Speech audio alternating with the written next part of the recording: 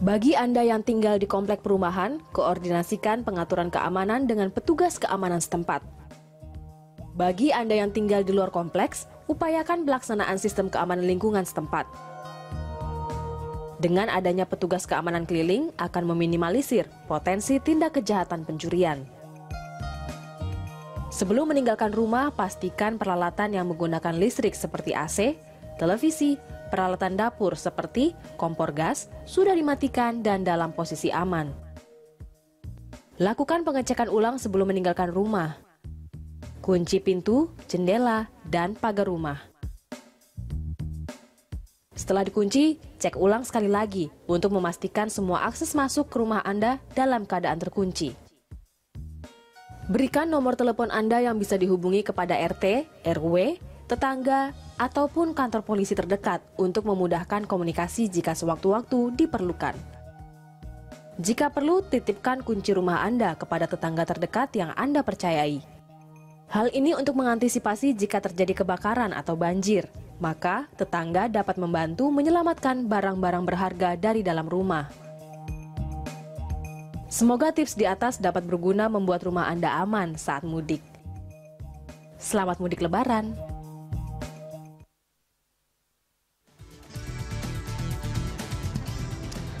Ya itu tadi tips-tips yang mungkin dapat Anda lakukan supaya memang uh, dapat menjaga keamanan di rumah Anda dan juga lingkungan sekitar. Tips juga mungkin dari Pak Martin terkait dengan bagaimana akhirnya uh, masyarakat secara proaktif juga mengingat-ingat telepon nomor telepon penting seperti nomor telepon kepolisian, pemadam kebakaran dan lain sebagainya. Ini sebetulnya juga bisa dilakukan ya Pak Martin ya? Ya, uh, kalau kita memang sudah mempublish ya. Hmm. Jadi nomor-nomor polsek, nomor-nomor pelayanan, pengaduan itu sudah kita informasikan. Kemudian memang bagi mereka yang meninggalkan, kita tidak bisa melepaskan diri dari juga RT RW setempat ya. hmm. ya. Nah ini juga harus uh, didata, mereka data karena umumnya RT RW itu tidak mudik juga itu, punya hmm. tanggung jawab yang luar biasa untuk menjaga warganya ya. Hmm. Okay. Ini selain kemudian rawan aksi ke kejahatan, kadang-kadang ini rumah pada saat ditinggal mudik juga kemudian rawan e, bencana juga seperti misalnya kebakaran karena keamanan listriknya atau mungkin meninggalkan rumah pada saat tabung, tabung gasnya ada sedikit kebocoran seperti itu. Bagaimana e, dari kepolisian sendiri? Iya, kalau kita tidak bisa langsung mm -hmm. door to door ya mm -hmm. untuk melakukan penyampaian seperti itu ya. kita melalui RT RW, hmm. Babin Kamtipmas bersama-sama untuk menyampaikan Nah, memang yang potensi-potensi terjadinya kebakaran seperti itu, itu memang dilakukan antisipasi. Di antaranya ya dengan mematikan seluruh hmm. uh, listrik ya, arus listrik, mematikan barang-barang yang berharga disimpan. Hmm. Ya banyak sekarang uh, jasa-jasa uh, untuk penyimpanan barang-barang hmm. berharga. Nah ini perlu dilakukan. Baik okay. ya, pengamanan di jalur mudik sendiri artinya uh, bukan hanya mengatur kelancaran berlalu lintas dan lain sebagainya, ada juga titik-titik yang rawan uh, angka kriminalitas, uh, Pak Martin. Uh, pemetaannya sejauh ini seperti apa? Sudah adakah konsentrasi uh, terhadap kepolisian dan juga TNI uh, terkait dengan hal ini?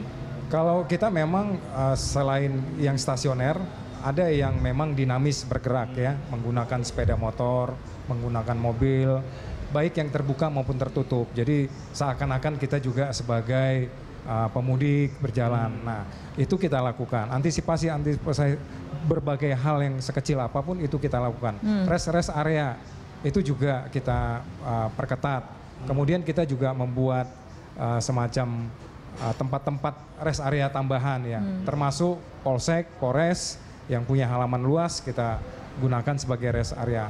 Prinsipnya kami bekerja keras bagaimana masyarakat bisa memiliki kenyamanan hmm. di dalam uh, mereka melakukan perjalanan pergerakan yang cukup lama.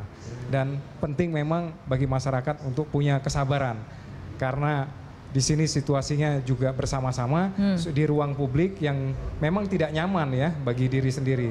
Tapi di dalam suatu ruang publik yang sangat besar di jalan tol misalnya itu perlu ada kesabaran untuk bisa berempati terhadap orang lain jadi tidak menyerobot. Yeah. Kalaupun ada yang berhenti karena misalnya mogok ya kita sama-sama meminggirkan, Hmm. tidak perlu menunggu petugas polisi. Hal seperti itu kan penting kebersamaan kita itu. Oke, tidak egois pada saat mudik Empati, seperti itu ya. iya. Baik, eh, kita ke Bu Meli. Eh, Bu Meli, ini untuk eh, bagi para pengguna jasa keamanan swasta, misalnya ini kemudian yang akan mudik kan hanya mungkin ada yang tiga hari, ada yang satu minggu. Apakah kemudian kontrak kerja dengan jasa pengamanan swasta ini bisa per hari seperti itu, ataupun harus ada minimalnya berapa lama atau seperti itu? ya. Eh, kalau untuk yang organik, jadi untuk yang memakai tenaga security bisa Iya, tiga hari bisa, satu minggu bisa. Mhm. Cuma mungkin harganya agak beda, beda sedikit dibandingkan kalau yang eh, rutin per bulan.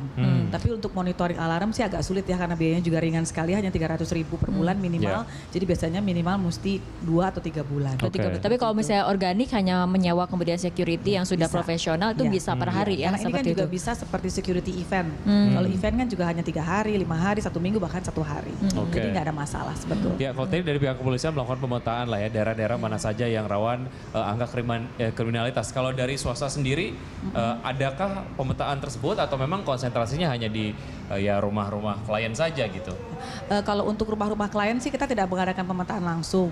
Tetapi kalau untuk daerah-daerah seperti yang kita jaga, seperti daerah oil and gas, kemudian kita juga jaga di eh, IPMOMI yang jauh yang di eh, li- listrik, eh, pembangkit tenaga listrik. Nah itu kita eh, tingkatkan keamanan di situ seperti Freeport segala. Karena kita juga jaga di sana. Oke, ya. Pak Martin terkait dengan eh, tadi inisiasi dari Pemprov sendiri untuk menurunkan eh, lima ribuan eh, satpol pp lah ya. Koordinasinya seperti apa sejauh ini supaya memang tidak menumpuk eh, tenaga eh, pengamanan di satu wilayah sementara di wilayah yang lain tidak terawasi gitu. Koordinasinya sejauh ini seperti apa? Kalau yang kita dapatkan informasi memang dibagi per zona ya, per wilayah yang ada. Utara, misalnya utara, selatan, selatan, timur, timur. Jadi memang dibagi. Kemudian yang untuk dari provinsi sendiri memang eh, kita petakan, eh, kita plotting kepada beberapa tempat. Jadi memang sangat tergantung. Seperti wilayah, kalau kami kan Polda Metro Jaya juga eh, Bekasi juga menjadi bagian. Padahal kalau di Pemprov kan tidak masuk bagian Jak- Jakarta ya. Nah, konsentrasi juga kita ke Bekasi. Kalau ada berarti yang wilayah eh, Jakarta Timur itu yang kita perketat karena banyak juga perumahan di sana. Hal ya. Ya, untuk mengantisipasi munculnya titik-titik eh, rawan kriminalitas yang baru. Itu seperti apa langkah antisipasinya Pak Martin? Karena kan Ah. kalau sejauh ini yang sudah terbaca nih gitu ya. Iya. Kalau eh, kemungkinan adanya titik-titik baru seperti apa? Ya, kalau modus-modus mereka ya, modus-modus mereka memang eh, yang perlu diawasin seperti misalnya mereka sales ya, atau mereka mengaku punya barang Oke. untuk diantar ke rumah ya. Hal yang seperti ini yang yang perlu diperketat oleh satuan pengamanan yang ada. Oke. Kalau tidak ada ya bagaimana peran RT RW, peran Babin Kaptimas di situ untuk Iya. hadir di tempat-tempat rumah Nah, kos. informasi-informasi seperti ini mengenai modus-modus pencurian, apakah kemudian juga sudah disosialisasikan oleh Polri ke tadi dikatakan ke tingkat RT, ke tingkat RW seperti itu ataupun ke masyarakat agar masyarakat juga ikut menjaga dirinya sendiri ataupun menjaga rumahnya sendiri sehingga ada tindakan pencegahan dari masyarakat juga. Ya, informasi-informasi modus-modus ini memang uh, di media sendiri muncul ya. Hmm. Kemudian dari para petugas kami juga dalam komunikasinya sehari-hari dengan masyarakat juga menyampaikan hal tersebut. Memang tidak secara spontan kita memiliki uh, satu program.